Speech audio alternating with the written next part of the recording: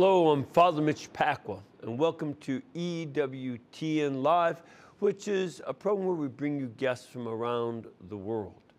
Our guest tonight has put some very serious thought into questions about when humanity begins and how and when it should end.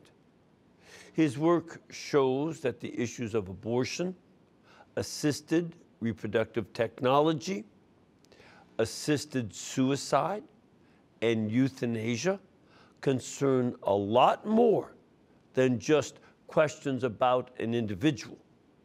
These are all issues that belong to the whole community of the human race because we are born helpless and in need of the care of others.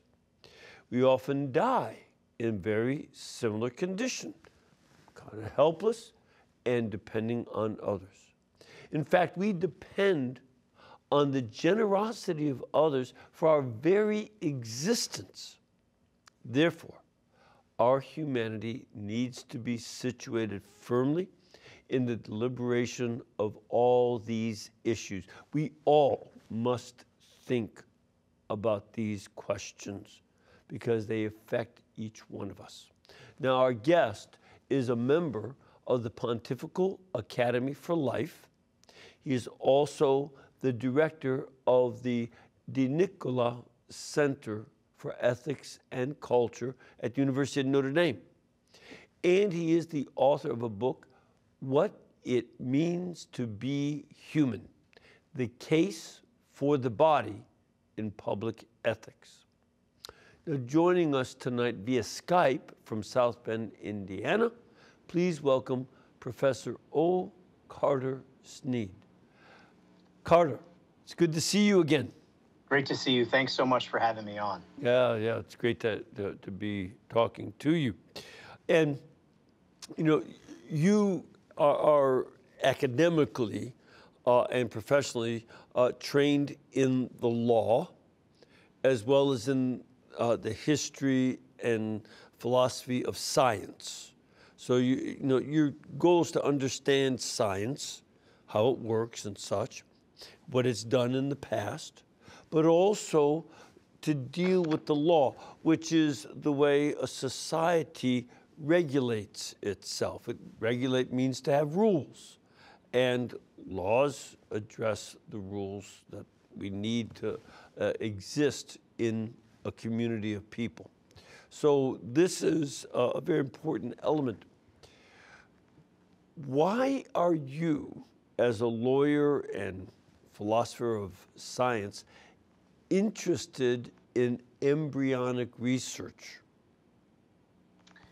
Well, it's a great question. Um, I'm interested in, in embryonic research because embryonic research, human embryonic research, involves the use and, uh, in some cases, the destruction of living human beings at the earliest stage of their development. The word embryo simply refers to the human organism uh, at a very early stage of development. Everyone in, who can hear us right now and see us, you and I both, were at one point in our lives at the embryonic stage of development in our lives. Uh, it's merely one path on the continuous gapless trajectory from conception through our lives ending in death uh, that every human being goes on. And so, any kind of research involving human subjects, especially vulnerable human subjects, especially human subjects who can't speak up for themselves, as human embryos can't, is of interest to me because I think that the role of law is to protect persons, to protect human beings, including embryonic human beings, um, and to promote their flourishing. In something that is worth noting is uh, a number of voices, shall we call them anyway, a number of voices in our culture try to describe the, um, the living creature inside a womb as a blob of organisms, a blob of living organisms. But it, it's not a blob uh, by any means, is it? No, no more than you and I are blobs. Yeah. Um, it is an it's a coordinated aggregation of parts that function in a, in a systematic way for the for the flourishing of the whole organism. Yeah. It's a living human being at the earliest stage of development. It's doubt. It's without really no one. Even if you look at any embryon embryology journal, embry, any embryology textbook that that scientists and medical students use, or even high school students use to study, it's clear that we're talking about a living human organism, a, a whole human being, uh, albeit one very small, independent, and physically immature. And in fact, at a much earlier stage than being an embryo, well before uh, the human organism develops into an embryo, right at the very moment of conception, all of the DNA that that person will ever have is present. That It's happens at conception. That's right. It's a completely new organism from the moment of conception that moves itself along its own developmental trajectory using the genetic and epigenetic resources that it has uh, at its disposal. Of course, it needs, like all of us, needs a hospitable environment to survive. It needs food and, and sustenance and, and a safe place to survive. And the first place of belonging for every human being that's ever existed on the planet is uh, in his or her mother's womb. And you know, this is is then uh, the starting point for examining uh, ethics. What what ethical questions arise from dealing with embryos? What are the ethical issues that are most important with an embryo? The most basic question, I think, the most basic principle or concept uh, that is applicable to the question of involving the use of embryonic human beings or any human beings is, is, the, is the principle of justice. Uh, we owe injustice uh, a duty of care to others, certainly not to intentionally harm others, and to uh, abstain from those actions that create foreseeable risks to other people. We stand in a certain kind of relationship to one another as members of the human family. Uh, and I think that there is an ethical imperative to protect the vulnerable. And the more vulnerable you are, the more entitled to protection you are. And certain kinds of relationships, like the parent child relationship especially, carries with it very weighty obligations to care and protect the interests of one's, of one's child. And what we're talking about in embryonic research is the use and destruction of someone's child at the embryonic stage of development. Um, and and that is a, that's an injustice. And that's an injustice that not only is morally troubling, but it's, a just, it's an injustice that the law should have something to say, to say about. The law at bottom exists to protect persons, to human beings, living members of the human family from private violence, for example. Uh, and a, a, familiar concept in human subjects research involving, you know, human beings at later stages of development, postnatal stages of development, are the concepts of human dignity and informed consent and respect for persons that we can't simply conscript other people into our own projects, projects that might be dangerous or even lethal for them, without um, uh, re- really ever, honestly. Uh, and um, and that's the problem with embryonic stem cell research or embryonic research of other kinds, is that because the living human embryo is um, you know, until the ni- 1969 had, you know, was, was invisible to the human eye, had not been seen in a, in a microscope, had not been observed before. And people say, well, that doesn't look like a human being. Well, that, that is what a human being looks like at that stage of development. And if we rely on our eyes and our own sort of moral imagination that hasn't been cultivated by science and learning, we can be confused and think that it's merely a cluster of cells or merely, you know, a, you know, uh, some kind of a tissue sample. When in fact, what you're looking at is a living human organism that that uh, put in the proper environment will, if all things go according to plan, move itself along a trajectory. It becomes very easily recognizable as a living member of the human family. Mm-hmm.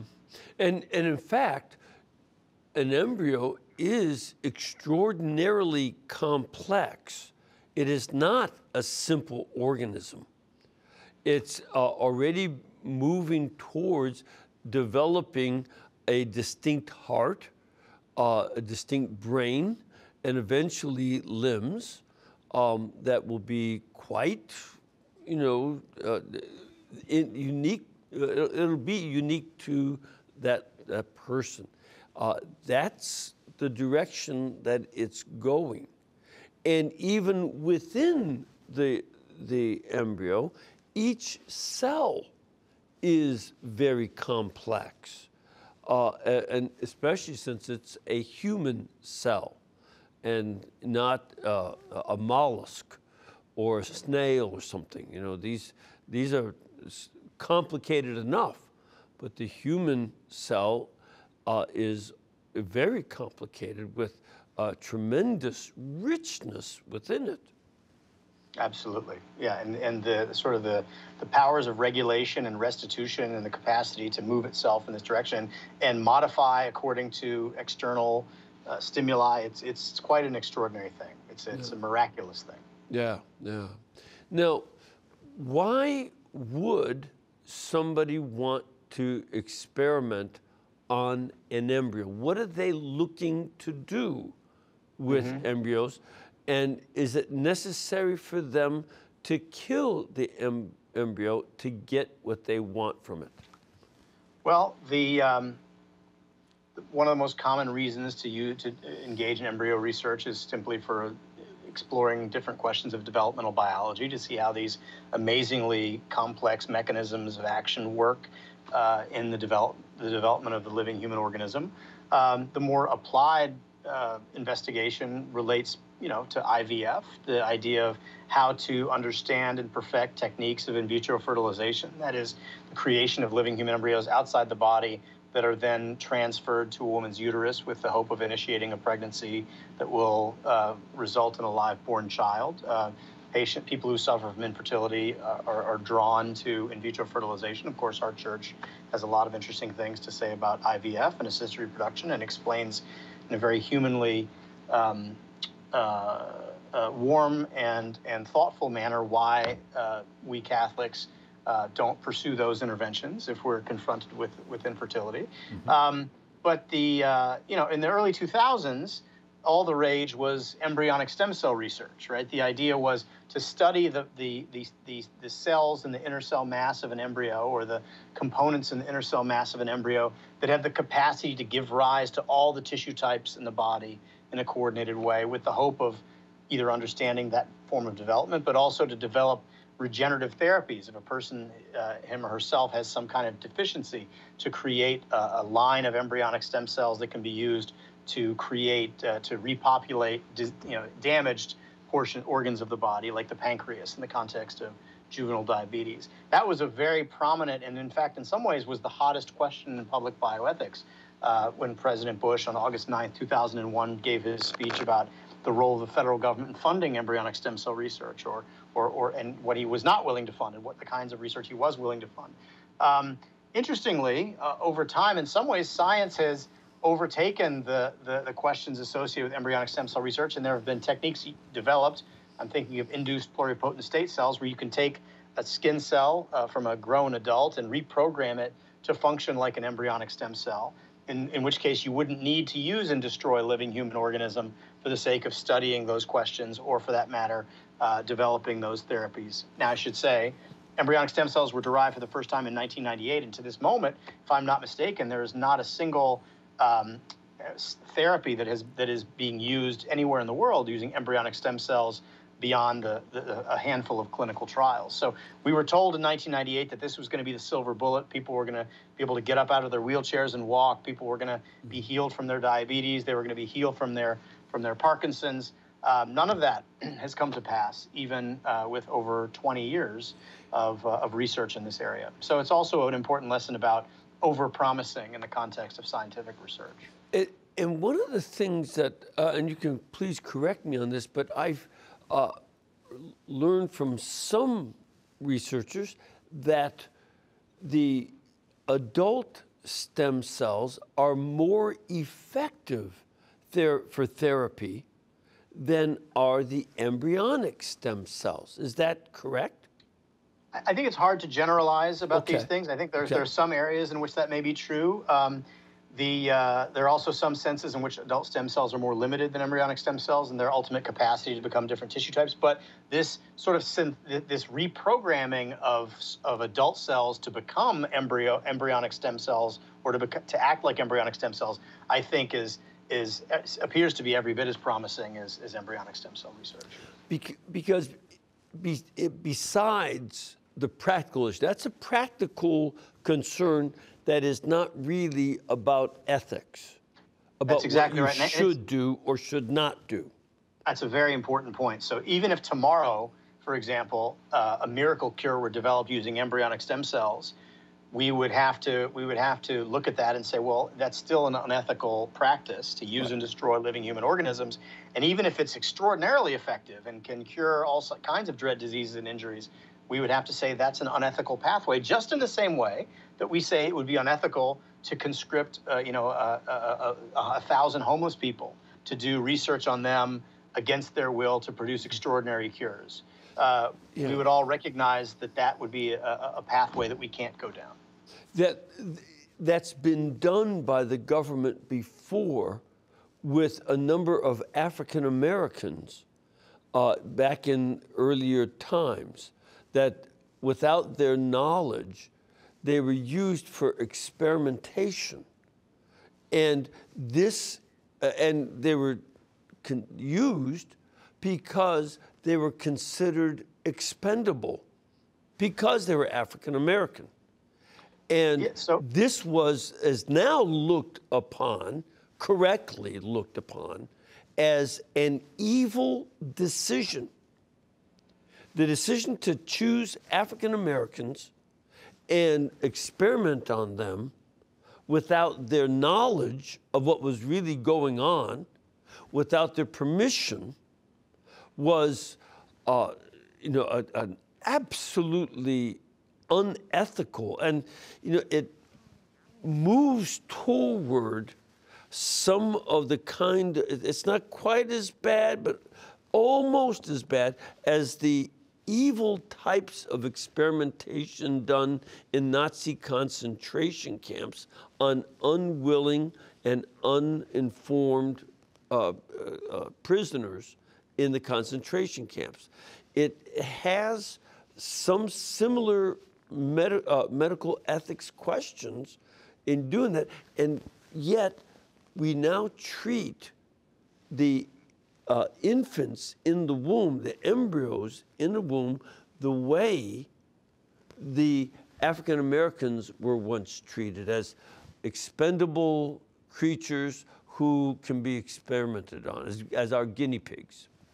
Well, it's interesting. Um, in, in the book the, that you mentioned um, that, that I published last year, I, I have a chapter uh, sort of charting the history of American public bioethics and beginning with some shocking scandals. And the law and policy in bioethics is frequently reactive to these scandals. So, one of the scandals that I mentioned uh, was detailed in an article in 1966 by uh, Harvard anesthesiologist Henry Beecher, who, by the way, was motivated by the Nuremberg trials of the doctor, the Nazi doctors who did terrible things to patients in or concentration camp victims. Um, and this was uh, involved the injection of hepatitis into intellectually disabled children in a, a home for such children on, on Staten Island called Willowbrook. Uh, and these children were not, of course, asked if they their permission to do this. Uh, there would have been no point asking their permission because they were intellectually disabled and they were children. They were not capable of giving consent. So the concept of consent was, would not have been sufficient to protect these children's well-being. As you alluded to a moment ago, in the, in the chapter, I also talk about the Tuskegee scandal, which happened yes. in Macon County, Alabama, um, and uh, began in uh, a 40-year experiment, began in the 1930s and, and ended in the 1970s, uh, where we our government, literally our people working for the federal government, uh, for the U.S. Public Health Service, systematically deceived and exploited poor African American sharecroppers who had syphilis, didn't tell them what they were doing. They would take spinal taps, they would take blood samples. They lied to them repeatedly. It's been reported that they even colluded with local health authorities to prevent them from getting access to health care that would have helped them, including penicillin when it became the standard of care in the 40s. And then even experiments involving uh, children who had just been aborted outside who are outside their mother's body and imminently dying because they've just been aborted and were being uh, the subjects of research that would extend their lives briefly and subject them to even greater suffering. And as you say, there are deep connections between all of these kinds of violations because first of all they single they single out the voiceless and the vulnerable. Uh, obviously, intellectually disabled children, the African American sharecroppers were vulnerable because of systematic racism and because of their their socioeconomic circumstances. And, and certainly they were single, all these folks were singled out. They would have never dreamed of doing such things to wealthy people, to white people, to people who are privileged, people who are able to, to speak up for themselves and have high uh, ranking in society. But here's the interesting thing, Father Mitch. Um, when they were confronted, the American researchers in Tuskegee, and when the uh, when the doctors at Willowbrook were confronted, and when the doctors uh, doing the horrific research on those newborn babies that had just been aborted who were dying were confronted, they made the same argument that the Nuremberg doctors did. They said, we didn't create these tragic situations. We didn't create these situations of deprivation for these individuals. We're just trying to bring something good out of it by by studying them uh, and and trying to, to to make something good out of something bad. But it only takes a moment's reflection to realize that those people were lying to us and lying to themselves probably because they weren't merely passive observers. They were making these terrible situations the object of their own actions. They were embracing the tragic situations and and exploiting those situations and extracting from those poor people one more time another round of exploitation for their own benefit. But it was the same argument. The arguments at Nuremberg are the same arguments made in Congress uh, by those who were responsible for those American scandals.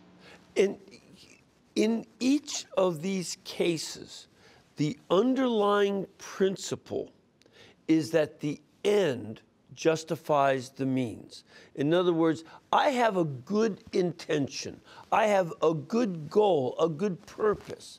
And, you know, maybe I didn't get permission but a greater good is, is coming from it. And this principle that the end justifies the means is adamantly rejected in Catholic moral thought, that the means must also be inherently just. Not only the end, the purpose, but also the way you do things must be just. You can't seek a good purpose in an evil way and then call it morally acceptable. Correct? That's right. That's exactly right. And moreover, because every human being from conception to natural death is made in the image and likeness of God, we owe everyone a, a duty of care. Everyone possesses intrinsic equal dignity. And you cannot violate even the least among us, especially the least among us, for the sake of some greater good. Yep, yep.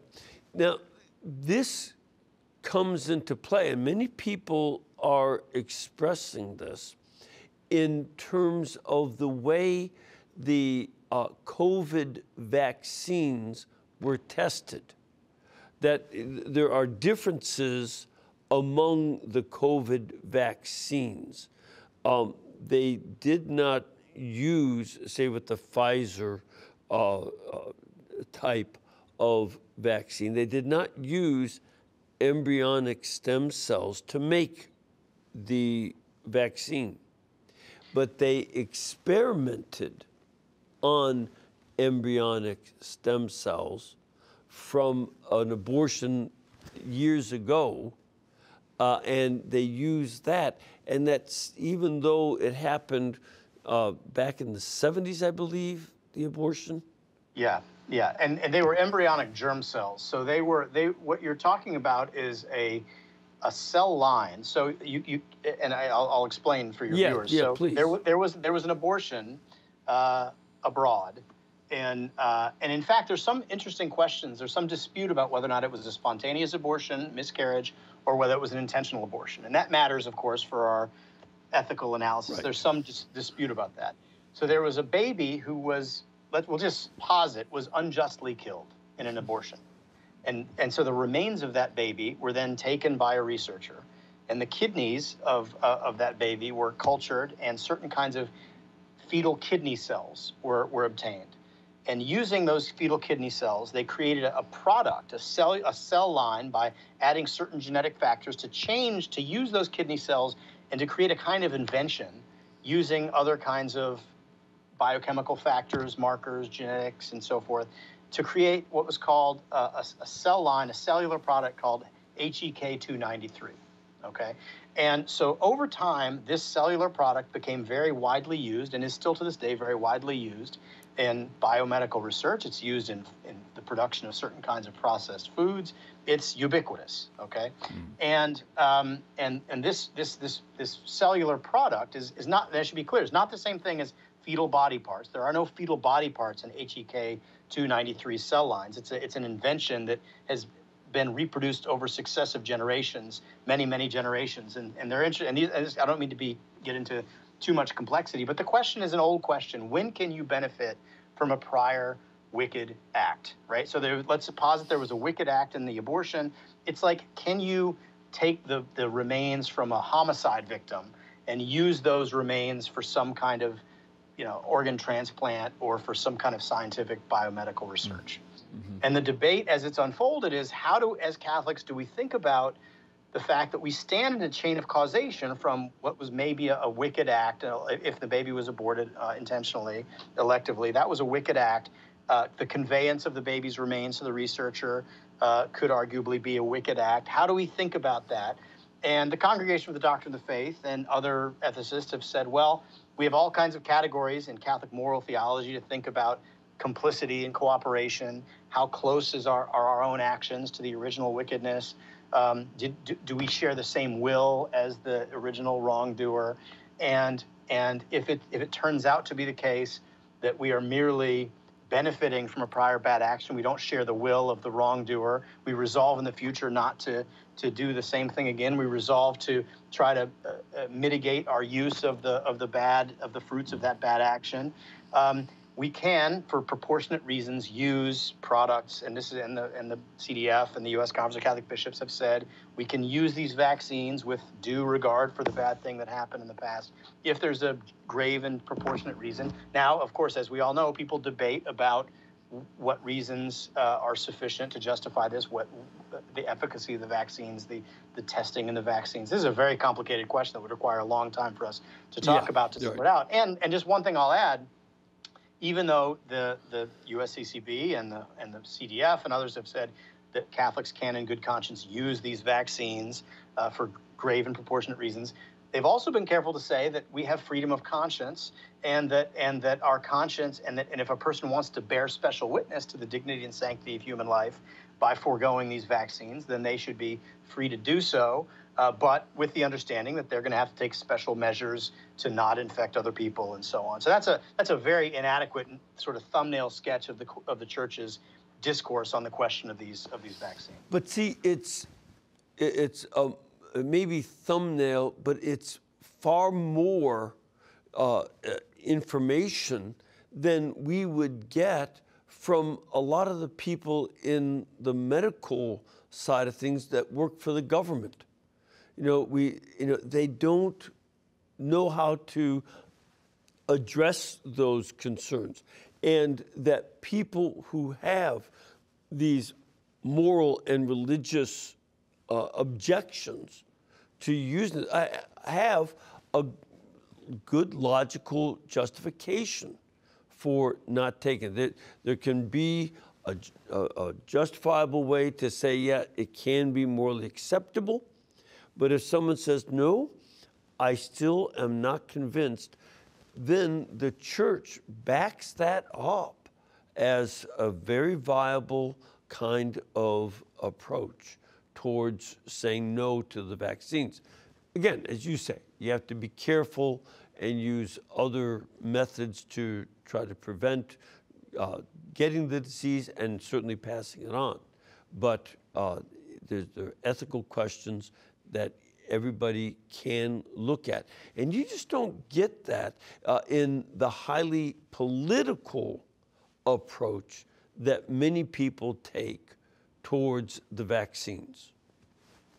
Yeah, it's unfortunate in the sense that I, I mean the public discourse, as I've observed it, is so polarized, and people are yeah. so people people are so mean to each other, and I mean on these issues, and they're so disrespectful to each other. Um, we really need to remind ourselves, I think everybody in the conversation needs to remind ourselves that we that we need to be respectful, we need to be thoughtful, we need to attribute goodwill to one another. Yeah. Uh, and uh, and and really just you know take a take a deep breath and and let's realize that we're all members of the human family and we owe each other you know uh, not just duties of care but obligations of civility and friendship as well. Yeah. This um, eh, this is a very lively kind of issue, uh, and uh, it affects people on lots of levels. And all of us have to make a commitment to doing justice, which refers to giving everybody their due rights, the obligation to allow everybody their due rights, which in our Declaration of Independence includes the right to life. That is at the very basis of our uh, founding as a nation, and that that right to life is not given by the state, and therefore the state has no right to take away the right to life. This is something that is given by God Himself. Now, we need to take a little bit of a break, so we're going to come back in just a couple of minutes and we may have some questions from folks in our audience. So ask you all to please stay with us.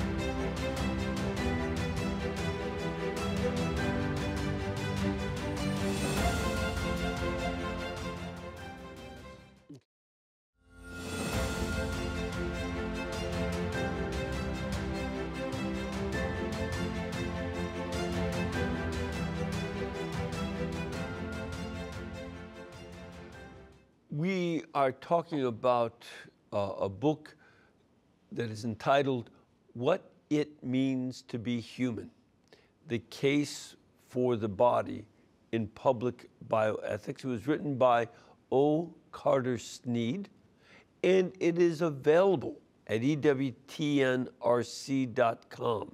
It is item number 87722. 87722. 722. And um, this is a, a, very important set of topics. And um, I'd like us to go to a phone call, if that's all right with you, Carter. Sure, absolutely. All right. So, Thomas? Father. Uh, is this Thomas from Tennessee? It is, Father. All right. This boy comes way up from the northeast corner. Thomas, what do you have for us today? Well, you were you just touched upon it before the break, Father. What I was about to ask, and uh, my question is for for Dr. Snead, and if he could explain uh, the uh, differences in science or the evolution of science since January of 1973, and how that embryo uh, from conception has inalienable rights. Thank you, Thomas. Yeah, yeah go yeah. ahead, Carter. Thank you very much, Thomas. Now, it's interesting because, I mean, I think uh, Thomas is alluding to the Roe v. Wade decision, uh, mm-hmm. which we have marked the anniversary of, uh, 1973, January 22nd, I think, 1973. Uh, uh, a terrible day, a day in which the Supreme Court arrogated to itself authority that it did not have to impose on the United States an extreme and incoherent and unlawful regime of abortion on demand um, uh, through nine months of pregnancy. Um, and uh, and then that was reaffirmed uh, in 1992 in some ways in Planned Parenthood versus Casey. And and the court now has um, just heard a case on December 10th that very well called the Dobbs case out of Mississippi, which very well may be uh, the court's uh, opportunity and an opportunity that I actually expect they will accept to overturn Roe v. Wade and Planned Parenthood versus Casey and, and return the question of abortion to the to the political branches of government, which is where it, it lied from 19, uh, 19 before 1973 uh, until uh, up to the, the, very beginning of our nation's founding. And the question Thomas and, asked is about science. I, yeah, I, let me just end, yeah. I want to make uh, something clear too. The yeah. Supreme Court did not make a law about abortion, allowing abortion. So the court cannot make law, can it? No, in fact, the role of the, the legislature makes law. The role of the court is to interpret the law, and in this case, they were claiming to interpret the Constitution, the document that creates our government, that defines the relationship among the, the different branches to one another, the state and the federal government, as well as the relationship between citizens and the government uh, and persons in the government. And, um, and they, they, it's crazy. They, they read uh, in, a, in a part of the Constitution, the 14th Amendment, which says no person should be deprived of due pro, pro, uh, uh, deprived of life, liberty, or property without due process of law. They said that language, adopted in 1868 when abortion was illegal basically everywhere um, in the United States, means that the state cannot do anything to meaningfully protect unborn human beings, that there has to be a right to abortion in that procedural language, which you don't have to be a lawyer to recognize how, how crazy that is. I mean, that's a, just a complete and utter fabrication, a projection onto our founding document, uh, a pernicious idea that only existed in the heads of the justices, and it was nowhere in the text, history, or tradition of the Constitution. And and the, what the court, God willing, will do in this Dobbs case is to, to to right that wrong and to say, in fact, no, the Constitution doesn't prevent us from protecting mothers and babies and families the way they deserve to be protected in law. Um, and in fact, uh, it, was a, it, was a, mistake of the court, and they're going to correct it. Uh, now, Thomas's question was about was about science. And have there been, I gather he was asking, have there been developments in science that help us to better understand the humanity of the unborn child, which further underscore the error of the court in 1973? Now, I should say, the court knew in 1973 that unborn children were human beings. In fact, Texas made that argument. In fact, many jurisdictions uh, in the United States took that very position. In fact, four months after the ratification of the 14th Amendment in 1868, the state of Ohio criminalized abortion from conception on the grounds that it was, and I'm quoting the language, child murder. Okay? So nobody really thought, I mean, everybody knew in 1973 that the unborn child in the womb was a living human being. However, there have been developments in science since 1973 that further sharpen our understanding. The development of further development of ultrasound technologies, 4D ultrasound, where you can really literally see the face of the unborn child in the womb, fetal surgery, where uh, surgeons uh, masterfully intervene in in utero procedures, trying to help babies, especially babies with spina bifida and similar kinds of conditions, where they do surgery while the baby's in the womb. Maybe some of you have seen that extraordinary image from uh, Vanderbilt Hospital many years ago with a little hand holding onto the surgeon's finger as he's as he's. Uh, I think the little baby's name is Matthew, if I'm not mistaken. Mm-hmm. In any event, but that baby was born much later than that photo was taken. So there are things that have brought into sharp relief our understanding of the unborn child more so than was the case in 73. But um, and there's a wonderful amicus brief filed by um, uh, the Catholic Association um, uh, describing the, the, physicians and scientists associated with the Catholic Association describing all of the data, all the scientific evidence that, that make it really inarguable that these are our living members of the human family in the womb. Uh, and so it's really irrebuttable. No one, unless they're sort of invincibly ignorant, will uh, resist the proposition that as a biological matter, these are living human beings in, in the womb. And so, which is what makes abortion such a, a unique injustice. It's the systematic killing without any lawful protection of you know almost a million babies a year in the womb. And people say, well, you know, abortion is one issue among many. Well, it is one issue among many, but there aren't many issues like abortion in the sense where, in the sense that uh, it, it involves the intentional killing and, and, the, and, the, and the effort to maintain a legal regime that prevents the government from protecting uh, the least among us. And something uh, along those lines of further development that's taken place, you know, at this point, uh, doctors can help a child who is born early down to 21 weeks is not right. unusual right now. And no, that child right. can survive. A friend of mine is a neonatologist, uh, Dr. Robin Pierucci, uh, not far from you in Kalamazoo. And she's, uh, she does this, you know, uh, the, these babies survive. She, of course, has to, you know, give them injections and food and food intravenous and all this.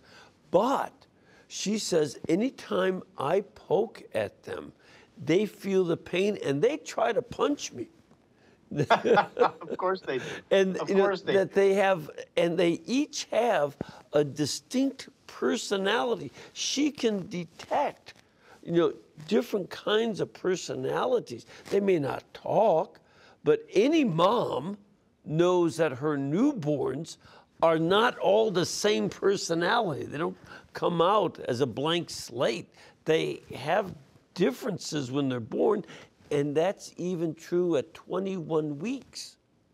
And that the That's pain they right. feel is very real.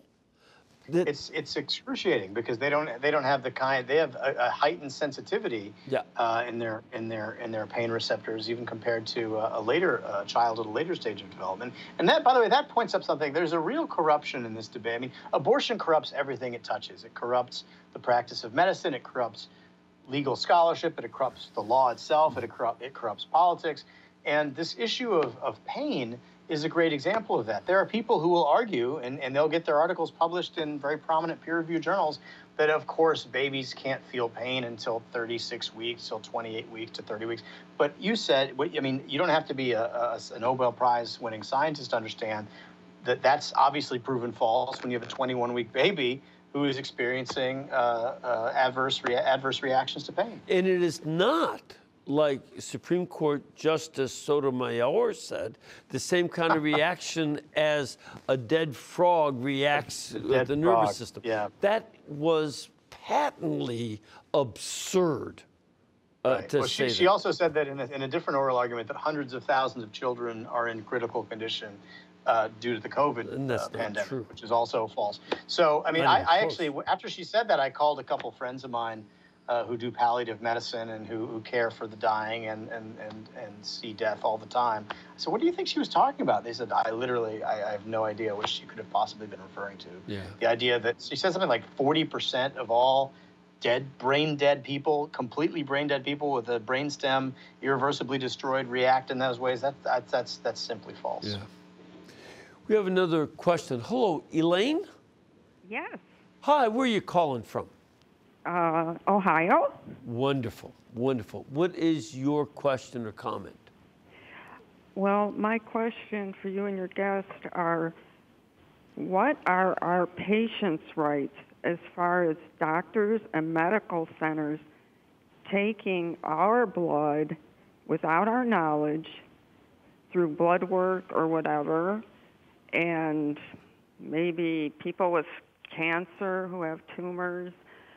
What are our rights uh, without us signing anything? They are getting our DNA and using it for research and finding all these diseases or saying they finding all these diseases and our DNA is from God and that's my personal data and I don't feel, you know, somebody should be taking it unless we have authorized it.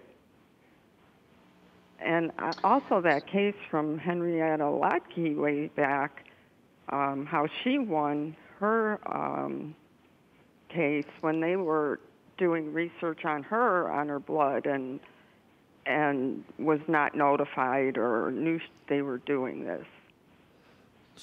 All right, thank, So there's some, yeah. Let me let me uh, turn that over to you, Carter. What rights do we have uh, uh, in regard to doctors taking blood samples that we give them, but then using it for DNA research that we did not give them permission to do?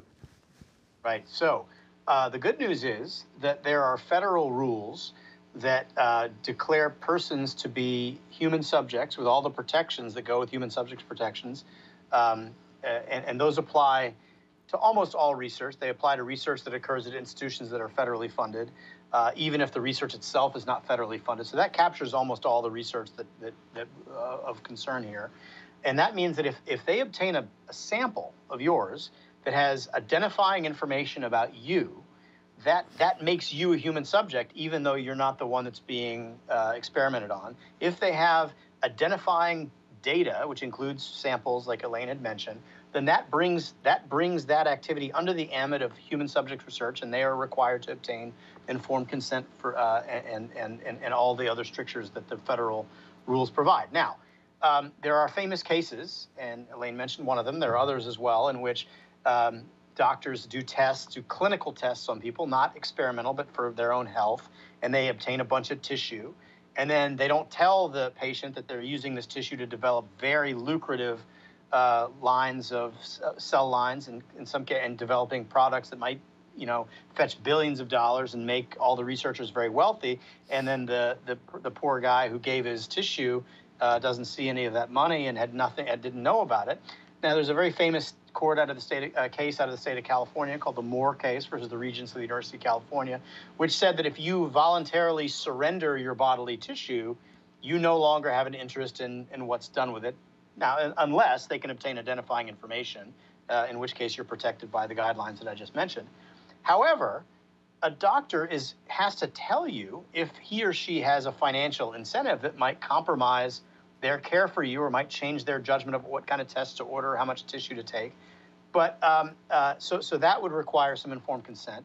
But I will say, just as a matter of basic practice, for people who are concerned about these things, they should ask their doctors directly about this. They said, What are you going to do with that sample? Uh, and a doctor, if you ask the question, they can't lie to you. They have to tell you the truth about what the what the plan is for that. You can say directly, Are you going to use that for research? Are you going to gather information that's identifiable to me? Are you going to do things with that that I would find unethical? Um, that is, uh, in that case, you would you would not be simply surrendering your tissue in the way that you'd be throwing it in the trash or giving it to, conveying it to someone and surrendering all of your possessory interest in it. Um, you would, uh, in fact, be engaged in a conversation. So there are protections, but I would say uh, to Elaine and folks who have these concerns, you should be very open and direct with your physicians or your your uh, you know phlebotomist or whoever you're dealing with say i want to know what's going to happen with that tissue sample or that blood sample. Will how, how are you going to guarantee that my private information isn't obtained by other people and used in, in ways that i don't approve of? Yep. Good. That, that's um, so we have that right to ask. We should ask and make sure. We have another caller. Hello peggy? Yes. Hi where are you calling from? Yonkers new york. Great and what is your question or comment? Well, I have a question. Since the vaccines save so many lives, and now that using aborted cell lines to make vaccines no longer applies, is refusing vaccine no longer ethical? Well, it's an interesting question. Um, I think you make a very important point about the fact that uh, there is no necessity in, in, in, with respect to these vaccines for ongoing acquisition of fetal remains tissue. Okay, that would be a very different situation if, if they had to recharge the cell line by getting more aborted fetal tissue, uh, depending on more abortions, depending on more taking unjust taking of human life. That would be a very very serious situation. That's not the situation we're dealing with right now. And some ethicists, good Catholic ethicists, even argue that. Um, that it's okay to use these cell lines because uh, if you didn't use these cell lines, that might create incentives for pharmaceutical companies, biotech companies to create more cell lines, which depend on more abortions. Now, I will say that it is unlawful in this country to uh, to get to to to um, convey uh, fetal remains, to get an abortion, and to convey fetal remains uh, in a way to sell fetal remains is illegal. Um, uh, that's not to say that people don't convey them and and get reimbursed for you know different kinds of expenditures that amount to paying for them. And that's something we should think about and maybe revise our laws in that respect. You may remember years ago there was that hidden camera footage uh, taken by david daleiden of, uh, of a planned parenthood clinic where they were he was basically saying can you manipulate the abortion procedure to get this kind of tissue sample that is flatly i mean obviously unethical in so many different levels um, and uh, even if they weren't selling the tissue, it was deeply unethical. And, and in and, fact, uh, one, one of the respondents did say, look, I want to get uh, a fancy car, like a Maserati. Lamborghini, Lamborghini yeah, Lamborghini. Yeah. Um, yeah. no, that's right. Yeah. And so, but, but back, back to the question, though, um, there are some, and I know there are some bishops and uh, who have said, listen, um, because there's no, because you can use the vaccine without fear of, of uh, unjust uh, culpable moral cooperation and the evil of the abortion, if that's if that's what took place years, uh, decades and decades ago. Uh, some of them say there's not really uh, an ethical sort of justification for not taking the vaccine. Um, now, the CDF and others have have talked about, and so I think we separate the question of ethical uh, objections on religious grounds from the desire to bear witness to the dignity of human life and to exercise your, your conscientious choice to do that. I think that's been treated as a separate kind of category, a separate kind of good outside the question of do I get an exemption uh, because I object to the use of these of these of these types of products. Um, in, instead, saying something like, "I choose not to use this vaccine because I want to bear special witness to the dignity of all human life, and I'm going to accept the responsibility of not taking the vaccine by." You know, taking whatever steps are necessary to prevent becoming a vector of transmission yeah. uh, to others. So it, it, it can still be ethical to say, I refuse to do this, and that's justifiable, but because they are no longer doing anything with uh, embryonic stem cells. It's not part of any production of this. It's, it is ethical to use the vaccines, but neither can you say that you are unethical if you choose not to take it. You can make a moral stance uh, by saying that I don't want to use the, take the vaccines because of my witness to the dignity uh, of life. So, that, that, in other words, there's a freedom of choice in this, correct? That's what the Congregation of the Doctrine of the Faith said. Yep. They said that there is a, uh, and the, the, the, doctrinal office of the Holy See said that people that people can, in conscience, abstain from the vaccine to bear special witness. People should have no hesitation people shouldn't feel vexed in their conscience using the vaccine. Uh, they, they, uh, the Holy See said that they encourage people to use the vaccine. The USCCB encourages people to take the vaccine, but they also say that in conscience, people can abstain and follow an alternative pathway mm-hmm. to preventing the spread of the sure. disease if they want to bear special witness. Sure. That's what the USCCB and the CDF have both said. Right.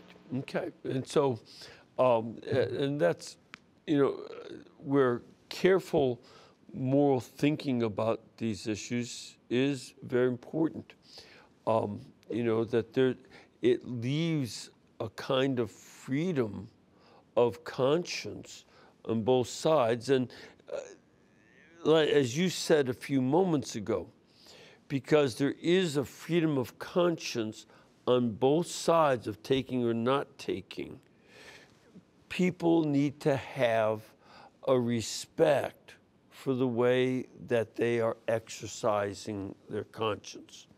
And say, you know, there are some things you have to say this is inherently evil in all circumstances.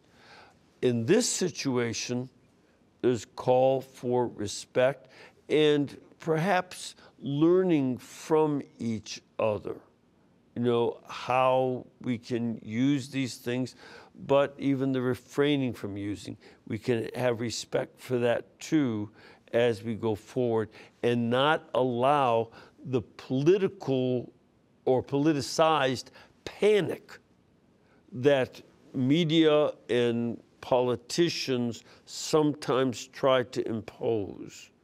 Um, this is not a case for panic, this, uh, especially at this stage of the pandemic um, this would be very important for us to be very respectful at a time when there's not a lot of respect and dignity in the unborn or towards people who disagree with us. Yeah, I agree. We Catholics don't want to recreate within the Catholic family the kind of tribalism and polarization that we see in the eh, you know in the more secular spaces yeah. where people consider other people enemies uh, if they don't do react to the pandemic the same way they think that you should react to right.